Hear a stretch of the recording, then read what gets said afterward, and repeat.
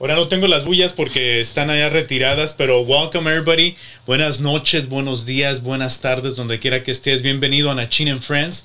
Este es Friday Edition. Te prometí un super programa y aquí lo tengo.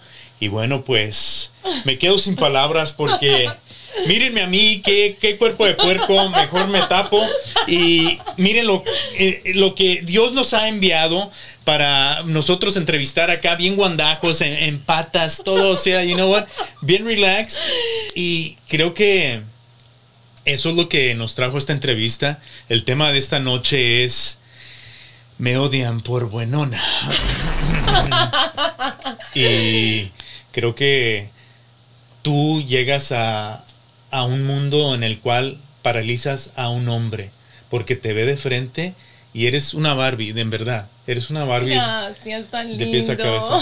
Mi vieja me va a dar unos madrazos, pero es el trabajo, ¿ok? Pero de verdad, creo que lo que te hace más bonita en sí es de que eres bien noble y eres bien humilde y no eres creída. Gracias. ¿Cómo te llamas? Jocelyn Rodríguez. ¿Cuál es tu Instagram? Jocelyn y guion bajo 86. Aquí lo vamos a poner para que lo vean. Síganla, es una chava bien a toda más. Y ahorita nos la vamos a conocer más y a platicar con ella sobre este dilema que existe hoy en día entre el mundo de las mujeres, que se odian por ser bonitas. ¿Qué está sucediendo? ¿Te sucede a ti mucho eso? Me ha sucedido, sí, sí me ha pasado. Es complicado, confuso, diría yo. Eh, pero yo creo que es esa confusión entre lo que yo quiero ser y ella tiene la envidia. Es ahí donde nace. ¿Crees que porque viene de que ellas se sienten inferiores y siempre te ven inalcanzable y dicen, ¿por qué ella y yo no? Sí, sí, tiene mucho que ver. Yo me gusta mucho impulsar a las chicas a que si necesitan arreglarse una cirugía o el cabello, a mí quien me mande un mensaje por Instagram, te lo juro, hace rato muy, muy casualmente me mandó una chica, ¿quién te hace tu cabello? Y le mandé, esta chica. Y tú no tuviste miedo porque otras dirían, ¿por qué se los va a dar, pinche vieja locas? que se fije ella. A mí cuánto me costó encontrar la comadre, que ya me la hice comadre para que me bajen los rayitos a menos. Pero sí, ¿no? Sí. Al final del día, ¿tú crees que si no estuvieras tan bonita, no te odiaran tanto? No sé, no sé, es complicado, pero trato de rodearme con gente que yo siento. Soy mucho de la vibra, de lo que siento. Y sí, me ha pasado con muchas chicas que de repente yo trato de tener una conversación y ser amable y, ponen como una barrera de no. Se sienten luego como es ese, ese hielo como que... Sí. El otro día estaba platicando con un amigo que es parapsicólogo y estábamos hablando de este tema de la envidia y del recelo, desde el nivel elemental de un bebé hasta el nivel adulto. Y dice, lo que pasa que al nivel adulto, pues te sientes más inseguro porque el mundo te ha, digamos, devaluado, te ha, te ha volteado, te ha enseñado que la fantasía que tenías como era la vida ya no era y andas todo amargado. Sí. Dice, so, de ahí viene el recelo, de que tú no sabes por qué el otro y así, la envidia. Dice, eso es natural, eso todos lo tenemos. Dice, no te sientas mal porque yo a veces yo te celo a ti en algo y yo sé que tú también a mí me celas, pero hablando de los celos, ¿Tienes novio celoso? ¿O no tienes novio? No tengo novio. ¿Por eso? Ah, no, sabes que no. He tenido mala suerte en el amor. ¿Cómo chihuahua es eso? ¿Le creen? Sí. No creo. ¿Cómo? Ahorita te están odiando más. Ahorita nada por ahí. ¿Cómo que has tenido más? Sí, ¿Cómo? ¿Cómo sucede Dicen que a veces uno escoge mal. Y yo creo que ese es el problema. Sí. ¿Cuántas veces te han tronado el corazón? Tres. ¿Lo pueden creer? Alguien dijo la otra vez en, un meme uh, ahí en Instagram, decía, si está bonita, si tiene su vida together, está locochona. ¿Estás un poquito locochona? Es que dicen, ¿sabes que no? ¿No eres tóxica? No, no soy tóxica. Para nada. No. Hace unos días pues, ponía lo mismo en Instagram.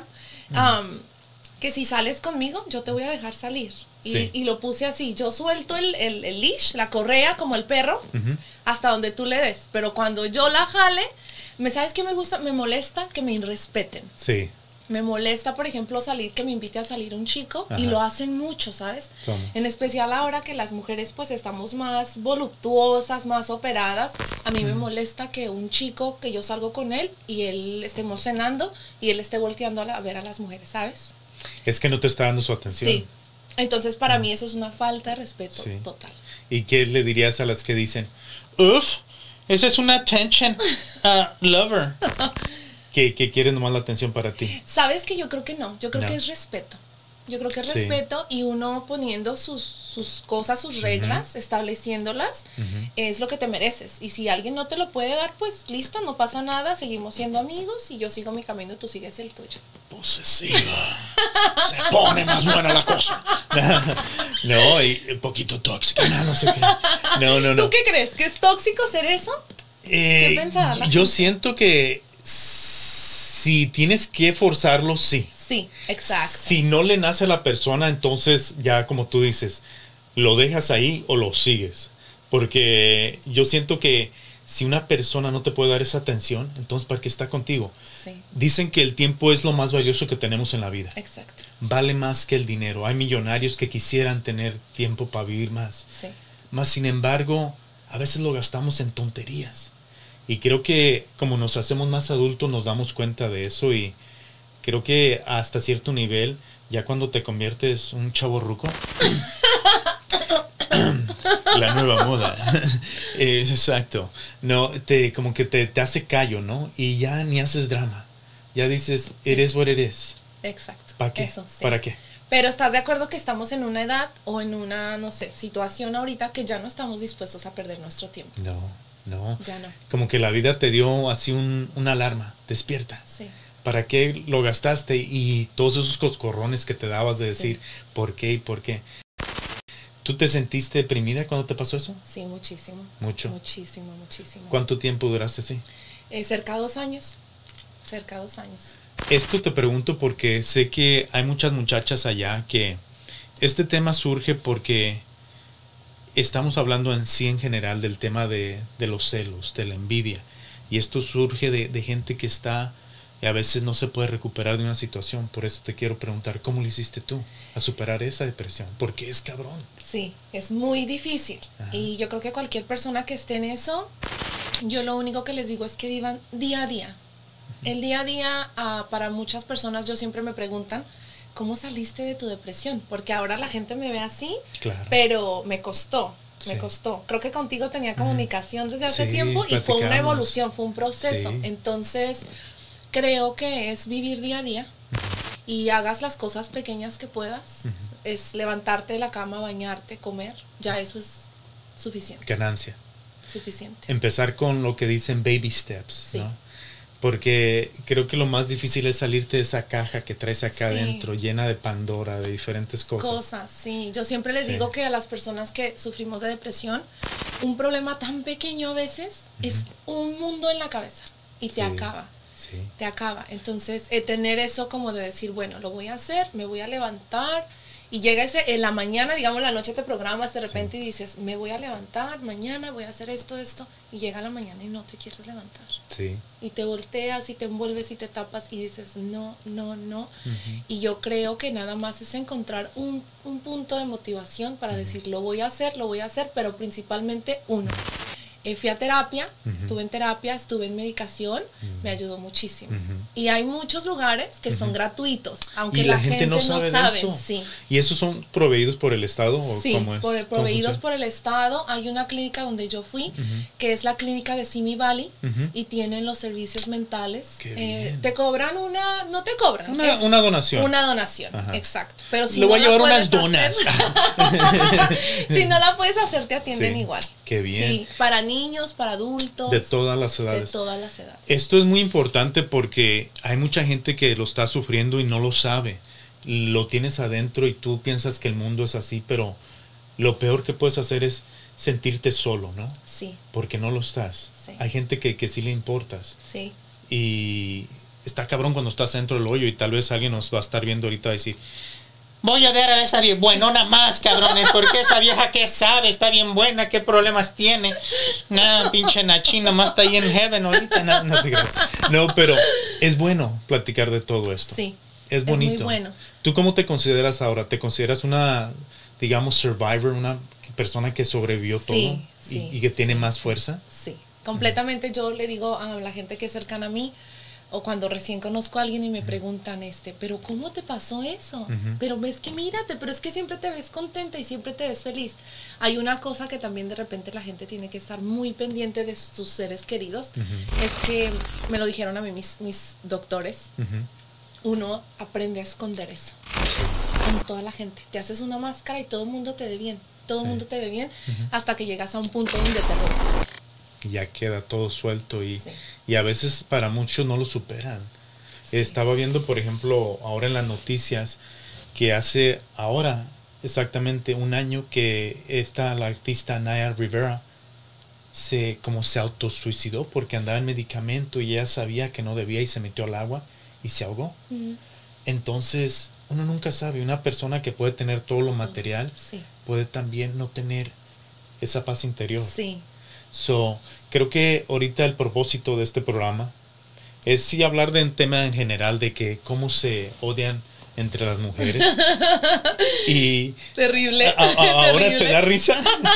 ahora, ahora cómo lo ves, ya cómo lo dirías. Um, pues es que sí está muy cañón, la verdad. Sí. Sí está muy cañón. ¿En dónde lo vives tú más?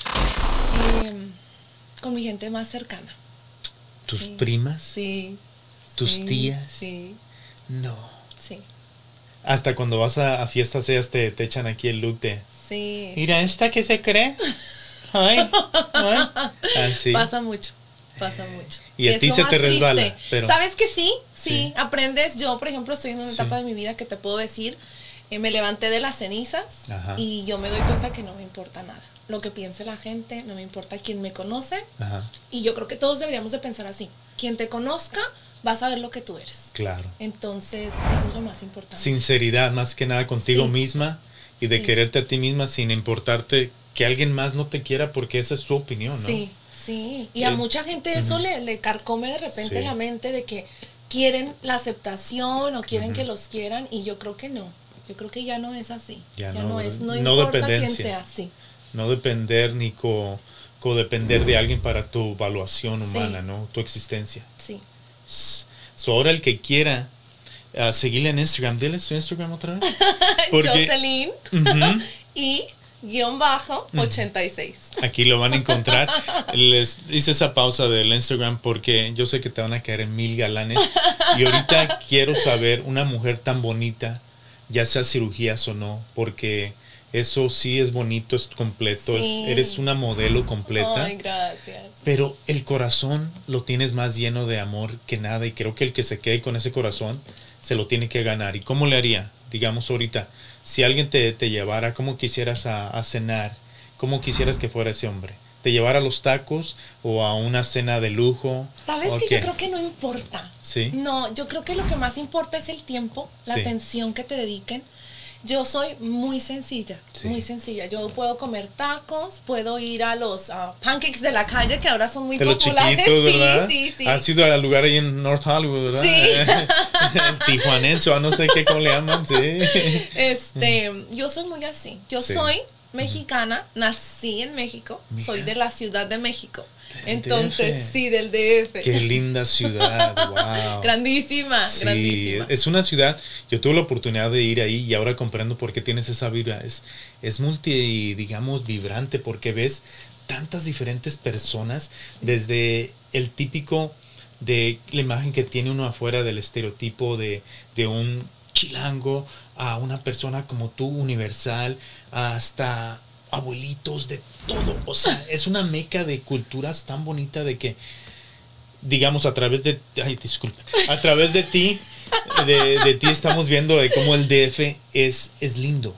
Y creo que, que eso es lo que tenemos que proyectar, Sí. de que México es diferente y aparte de, de que estamos aquí, quiero también enfrentar y hablar del tema de, de que existe esa codiferencia así nosotros, entre nosotros. Creo que el recelo viene la- también, digamos, del núcleo de la mujer, Sí. porque estamos impuestos a escuchar el chisme, pero los hombres también son haters entre ellos. Sí, terribles. ¿Cómo crees que, que viene este, esta, esta noción del hate así entre, entre todos? Yo creo que yo digo un dicho, no sé si es dicho o no, pero es una frase que yo digo, por ejemplo, en mi familia lo aplico mucho, digo, bueno, mi familia me quiere, me ama, me adoran, cuando yo he estado en situaciones difíciles me han apoyado. Te estoy hablando como de tíos primos. Te quieren, te quieren ver bien, pero no te quieren ver mejor que ellos. ¿Por qué será? A mí me ha pasado lo mismo. es terrible, es inexplicable, creo, creo yo. Eh, yo siempre pienso así. Eh, tal vez si yo tuviera la posición de ayudar a gente, lo tuve en su momento y ayudé a cuanta gente pude. De verdad te lo digo. Que ¿Te, han, regresado alguna, alguien una ayuda cuando tú la has necesitado? Sabes que han estado al pendiente muy, muy de mí. Qué bueno. Sí, entonces eso. Ahí la sientes. sí, eso, es lo que vale oro. Sí, eso es, eso es lo que tiene valor. Sí, pero entre amigos, entre primos, esa envidia entre cuñados, no sé, me, mandaron una telepatía. excuñadas. Ay, de su madre. El mundo está grande, para todos hay, desgraciados. Porque son así, ¿no? No tengo idea. Pinches no, no, pero creo que, ¿cómo tú, tú piensas que se puede erradicar? Si ahorita te dijeran, ¿qué es la solución para parar el odio? ¿Cómo tú lo paraste en tu corazón? No quiero sonar muy, muy así como que religiosa, pero, pero sí soy, sí soy muy religiosa. A mí lo que me ayudó fue eso, acercarme a la iglesia. Tenía una de tantas personas que yo ayudé, me llevó, me decía y me decía, Jocelyn, vamos a un grupo de oración, vamos a un grupo de oración. Y sabes, yo nunca le decía, ay, no puedo, no puedo, no puedo. Una excusa. Sí, sí, sí, claro. Y ya llegó un día que dije, ay, esta señora no me ha dicho más que vaya a la iglesia. Y casualmente llegó a mi oficina. Y le dije yo, oiga, usted ya no me dijo que yo fuera a la iglesia y me dijo, es que nunca vas. Le dije yo, ¿qué, ¿cuándo es? Y me dijo, hoy. Dije, ya, hoy voy. ¿Y te fuiste? Y me fui. ¿Dejaste todo? Sí, me fui. Y sabes que a mí me ayudó, por ejemplo, yo tenía, soy divorciada. Entonces yo tenía mucho... ¿También pasaste por todo eso? Sí. Wow, has pasado, digamos, como un, ferrocarril de, de conmociones. Sí, ¿no? sí, sí, sí.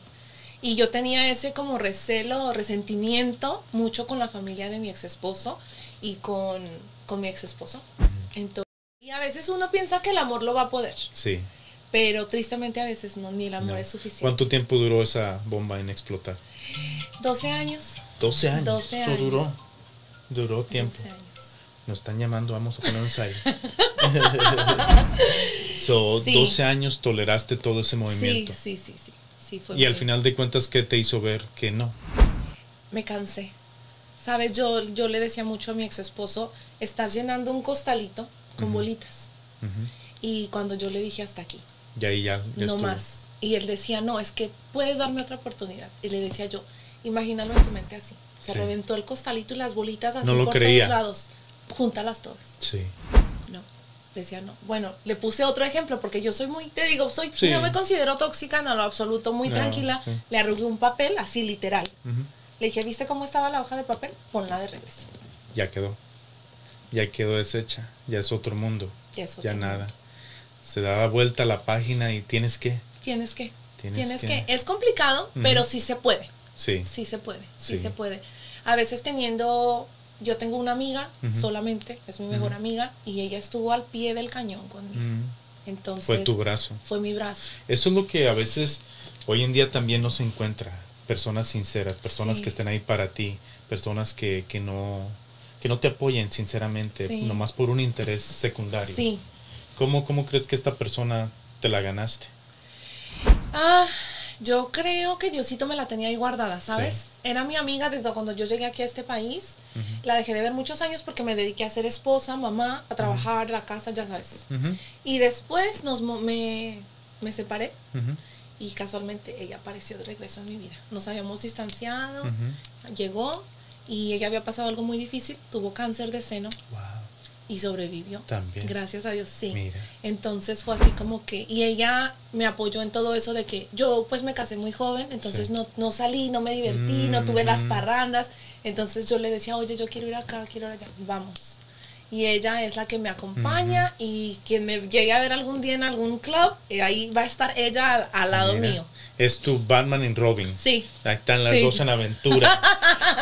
Total, total, total. ¿Qué? Sí. ¿Eso es un cougar? Porque. No, no te, no, no te creas. no. Todos los que están viendo ahorita de 20 años. Yo. Oye, sí, total. ¿Te ahora siguen los, los- chicos, te sí, siguen los sí, jovencitos? Sí, sí, tremendo. ¿Cómo, ¿Cómo te llegan? ¿Cómo te llega uno de esos? Pues se te acercan así, como que con ¿Directos? todo, directos, directos al grano. O sea, sí. Estás sí, muy sí. bella, quisiera bailar contigo, Sí, podemos salir. Sí, sí, sí, sí, ¿Así? total, así vamos, te invito a cenar, te invito a todo. ¿Sabes qué? Algo que ya se perdió mucho Sí. con los chicos que son, digamos, de, no sé, 28 para arriba, ya no son caballerosos, No. ya no, ¿sabes? A mí no me molesta, por Claro. ejemplo, yo salir y yo pago la mitad, pago mi cuenta o lo invito. Ya no existe de esto, muchachos. Pero los chicos de ahora ya no lo hacen, ¿sabes? Es ¿Crees como que- que... quieren directamente aventarse al sexo. O, o uno de mujer lo siente, ¿sabes? Sí, Siente. sí, sí. Y quieren eso nada más. Eh, es como, digamos, para ellos es un- la conquista del macho alfa conquistando a la hembra. Sí. De que son los, ahorita Sí. comprobando, tratando de Sí. comprobar que son los perritos. Y los jovencitos, Sí. digamos, de 21 para arriba, eh, son muy caballerosos. Tienen todavía eso, Mira. que todas las que somos ya de mi edad, Sí. que yo ahorita tengo 34 años, No, yo Sí. pensé que 19. em, estamos como que yo hablo con, con toda la gente y les digo de repente como, hey, like, ten cuidado porque yo creo que uno de esos jovencitos, sí, yo conozco a alguien que Sí. está con su pareja y es 15 años más, más joven que ella. Mira. Eso sí puede existir. Sí puede existir. So guys, you're a young guy and there's a potential, cabrón. You just gotta be respectful. Mira. Sí. Y te, también te llegan los, ah, digamos, los pensionados. los que quieren ser sugar daddies. ¿Sabes que no me ha llegado ¿No? ninguno? No. Todos jovencitos. Yo no sé cómo tú me veas ahora aquí, Sí. pero nadie nunca me cree que tengo 34 años. No, es que te ves muy, muy joven, muy jovencita desde que nos empezamos a seguir en social media. Yo, yo de verdad, yo pensé que tenías 20 y algo en eso. Sí, casi siempre es eso, que me, no sé, me cierran como de 26 a 28, no más. Y yo, no, no, no, tengo 34. Respeten mis años que me han costado. Y les voy a dar una nalgada si no, pinche chiquillos. Dame dos. Los- Algo así, sí. Ay, ay, ay, no, que me gusta tu tatuaje. ¿eh? Gracias. Muy simbólico, muy simbólico. De hecho, es un tigre, Nachi. Ay, de yo que acá lo vi como cougar, es que andaba en la montaña allá por China. Nada, está suave. No, ha sido muy buena la plática y creo que tiene continuación, pero el punto final de que aquí quiero enseñar es de que eres una mujer sincera, increíble, porque no creo que alguien piense y pueda platicar contigo y sentirse así, porque lo bonito asusta. Y eso es gacho, porque tenemos la, la mala idea en nuestra mente. So, creo que el punto aquí es de hacer lo opuesto, ¿no? De lo que has hecho si te sientes mal para no odiar y aceptar, ya sea bonito, ya sea feo, pero aceptar Sí. y ser, ¿no? Sí, sí, perdonar, quitarte esa mochila porque pesa. Y darte cuenta como preguntarte por qué odio a esa persona o por qué, por qué me cae mal simplemente. Yo les digo siempre a todas las chicas que me preguntan de cirugías plásticas en especial, yo les digo, opérate, lo que te quieras operar. Y las que te dicen, Y ya cuando estés viejita, ¿qué, qué te va a pasar? ¿Qué vas a hacer? Nos volvemos a operar. ¿le das? ¿Le Claro, das? sí, sí, sí. ¿No le tienes miedo? No le tengo miedo. Mira. No. ¿Sabes qué? Cuando después de una cirugía plástica te sientes como nueva. Claro, cuando pasa la recuperación, el proceso, eres otra. Te levanta, te levanta mucho el ánimo, muchísimo. ¿Cuánto, digamos, es lo que has tenido que reposar después de una? Eh, lo más largo ha sido mi tummy tuck, que estuve tres semanas. Y eso no te puedes ni mover, levantar o como. no, sí, me costaba. Era muy Duele lento, mucho. doloroso, sí, sí es Sí. doloroso. Y después de eso, eh, ah, las montañas rusas de, de Heavenly, ah, Bill. ¿Sabes qué? No, ¿No? no, los senos no duelen. ¿No? no, no duelen. Solo tienes que estar como unos, unos tres días que Ajá. no muevas tus brazos, pero. Y ya. Y ya, listo. Ya, nada más sales así. Sí. después, después de eso, no tienes que darles un mantenimiento. No, bueno, ¿No? yo en lo personal me puse silicón, es lo más natural. Eh, ya es ahora lo nuevo, ya no te los tienes que cambiar los implantes, antes sí, ahora ya no. y ahora Entonces, es todo. ajá, todo funciona natural, todo. yo opté por silicón porque yo ya no quiero volverme a operar, a menos que quiera algo más grande o más pequeño, pero creo que así me siento perfecta. No creo que ocupo ¿Qué más, en el liposucción, Liposucción y transferencia de grasa a los glúteos. ¿Y eso duele? ¿Sabes? Que es bien chistoso, todas somos diferentes, pero mis primas a las que he fomentado que se operen también, de tú dale, espérate, sí, sí, con Pinche desnalgada. Ve y cómete unos taquis por, digamos, un mes y engorda. Y ya, uff, happiness. Ajá, algo así. No, eh, a mí no me dolió en lo personal, pero yo era como flaquita y con el booty para atrás. Eso era nomás poquito. Poquito, moldearle, sí. Y, pero no tenía tanta cadera. Yo trabajé en eso en la cadera. Me hice dos liposucciones con transferencia de grasa. Y, pero fue un proceso de dos años, me costó engordar de peso, sí, sí, sí. eso tiene que ser natural de tu cuerpo, sí, claro. porque si no lo rechazas, sí. es otra cosa. Incluso a veces la grasa la puedes rechazar, pero es muy, muy mínima la probabilidad. Mira, ¿y esto te lo hiciste aquí en los Estados Unidos? Aquí en los Estados Unidos. Tijuana. No, no sé qué. No, qué bien. No, hay, hay buenos cirujanos en Tijuana también. Sí. So, ¿Tú lo recomendarías al 100? Completamente y a las que te critican. Vayan te leí la mente, para que sean felices, para que agarren ese empoderamiento que se siente de verdad, de verdad. Yo les digo a las chicas desde que lo primero que yo me operé fueron mis senos y desde ese momento ya cuando te sientes un poquito mejor es como que quítense que voy a pasar. Ah, te da, te levanta mucho. Entonces es muy bonito, sí es bonito. Yo, mucha gente dice me da miedo y digo, si te da miedo una cirugía, no te la hagas. No le metas. No, si no estás segura, no. Pero si tú quieres eso y dices, bueno, lo puedo hacer, aviéntate. Sí. Cálmate, Salma Hayek. Ahí van las curvas, quemando llanta. no. pues te agradezco de verdad tu tiempo. Gracias. Me gustaría invitarte para otros programas de cualquier otro tema. Me encanta tu vibra. Eres bien suave, es bien agradable. No te voy a hacer venir hasta acá porque veniste como desde hace tres años allá de otra ciudad aquí cerca de Los Ángeles. Quien me conoce sabe que llegó tarde. Eh, sí, me dijo, llego a las 3 de la tarde, ya son las 8 de la noche. Nah, no sé qué. No, se portó muy bien y le agradezco que vino hasta acá y que te tomaste el tiempo, porque como decimos, el tiempo es oro y es lo que más le podemos regalar a una persona. La atención y ahorita nos lo estás dando y... Gracias. De verdad hay seres buenos, no hay que ser tan ojetes y odiarnos nomás porque nos vemos diferentes, sino que hay que aceptarnos. La vida es muy corta para dedicarnos a, ser amargos. Sé feliz y trata de irradiar eso como cuando eras niño. Y vas a ver que la vida te va a cambiar. Gracias. 100% gracias a ti, Nachín, por la invitación. Una vuelta nomás para que los muchachos ahí se Para que vean, a ver si se ve. Mira, este, qué bonito vestido de Cleopatra. wow, miren. Ahí si quieren ver eh, nuevamente el video, nomás regresenle, háganle back and forth. regrésenlo y regresen. Regrésenlo, no seas güeyes, aprovechen, díganle a la mujer, estoy viendo un video muy instruccional de un chavo ruco que habla de temas muy interesantes, por ejemplo, de la vanidad, de muchas cosas. No sé, al rato hasta de religión estamos hablando, lo que venga, ¿verdad? Sí, lo que nos, se nos aviente. Estoy muy nervioso. Hasta aquí llegamos. Muchas gracias. Nachin and Friends. Subscribe, share, like and comment.